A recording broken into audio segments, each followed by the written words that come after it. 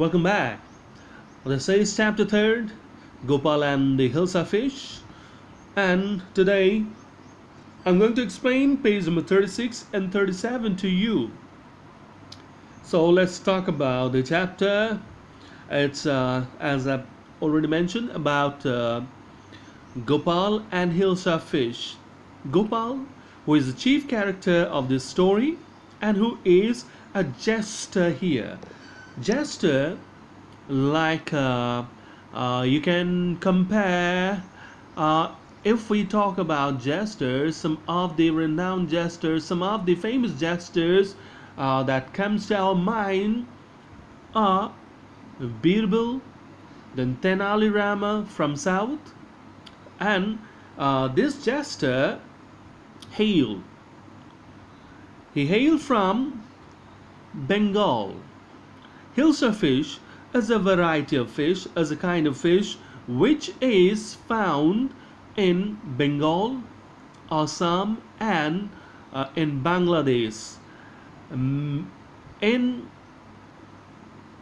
majority of it, that is uh, basically this Hilsa fish comes from Bangladesh. Bangladesh is the source, cheap source, and uh, Podda river there. That is uh, the Ganga river, which enters in Bangladesh, uh, is known by the new name Podda, and this river here in this river, this fish is found, and in a particular season, it's found in plenty. So uh, obviously, so uh, Gopal is also Gopal is from say Bengal uh, or related uh, to Bangladesh, Assam. This this province you can say.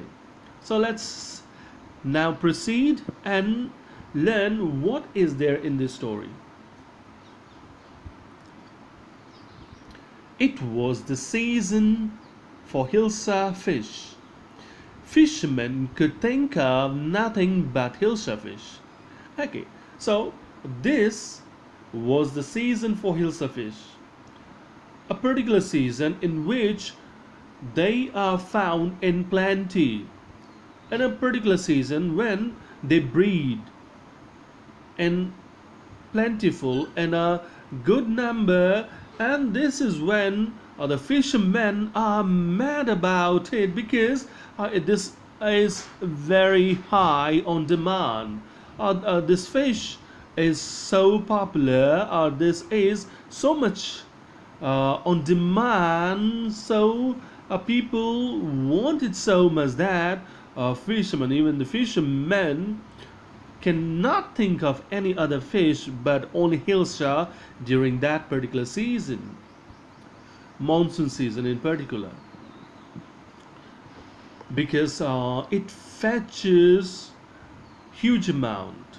If other fish uh, is sold for say 200 uh, 200 rupee a kg this is sold for 5 to 600 rupees. So very much uh, very very much uh, costly very much expensive you can say.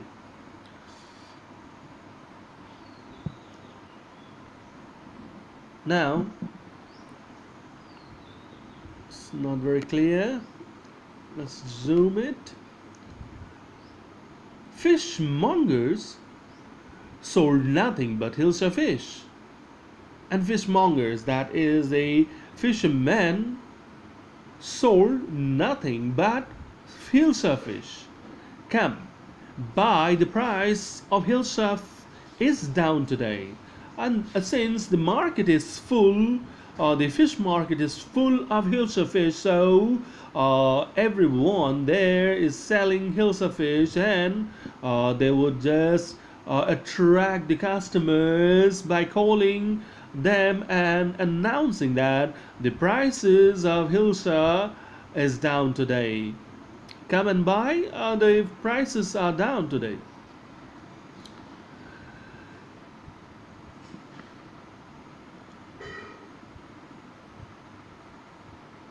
Okay, so householders could talk of nothing but Hilsa fish, and even the householders, that is, uh, people, uh, people at home can talk about nothing can uh, but Hilsa fish. They have only one thing in their mouth, that is, uh, in market there is only one thing uh, they find that is Hilsa fish.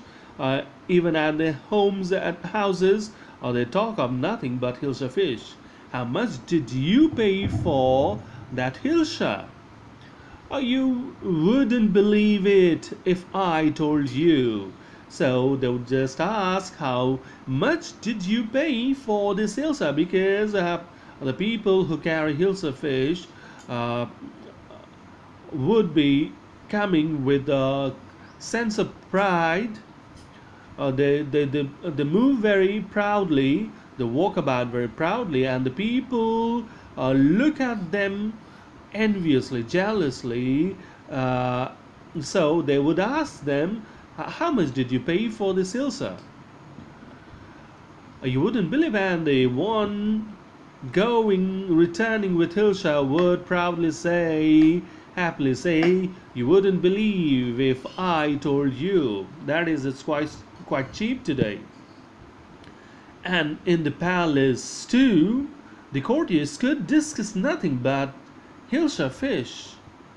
Okay, even at the court, at the king's court, of people, the courtiers can talk of nothing but Hilsa fish everywhere. People are only thinking of Hilsa fish, uh, right from the uh, fishermen to the people selling fishes in the market uh, to the buyers, even the courtiers, everyone is discussing about Hilsa fish and nothing else. Your Majesty, you should have seen the huge Hilsa I caught. It was. So, even at the court, uh, people, the courtiers would say, Your Majesty, you should have seen. That is, you should have seen the huge Hilsa that I caught today. So after that, coming to the next page. Stop it! Are you a courtier or a fisherman? Now the king, getting agitated by all these talks of Hilsa fish, uh, would angrily, furiously say, Are you a courtier or a fisherman? The courtier fell silent. With downcast eyes, the king felt guilty, and the courtiers would have their eyes downwards, that is, they bow their head, and the king felt guilty, and the king would feel guilty. He would feel bad about it since uh, he had scolded uh, his courtiers, so he felt bad about it. I'm sorry, I lost my temper. It is the season for Hilsa fish and no one. Then he would regret it and he'd say, I'm sorry I lost my temper. I, I could not control my temper. Uh, I'm very much sorry.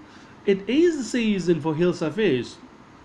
Since it is the season for Hilsa fish and no one is talking about anything else, so I got agitated.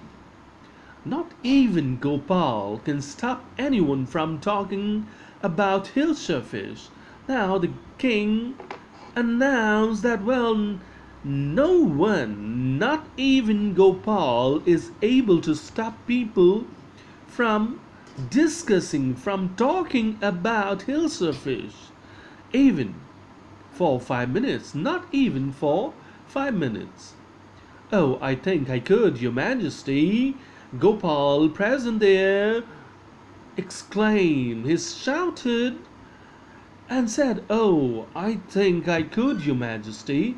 He said, Oh Majesty, I think I could. I could stop people from speaking about it, talking about it.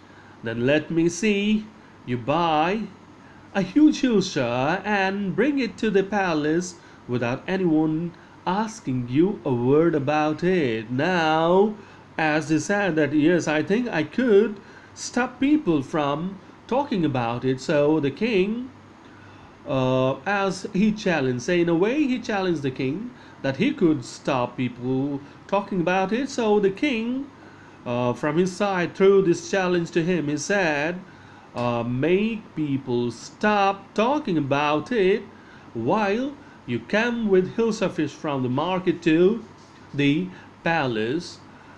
I accept the challenge, your majesty, and Gopal gleefully, happily accepted the challenge uh, that was given by, that was thrown by the king. So this is all for now. Thank you.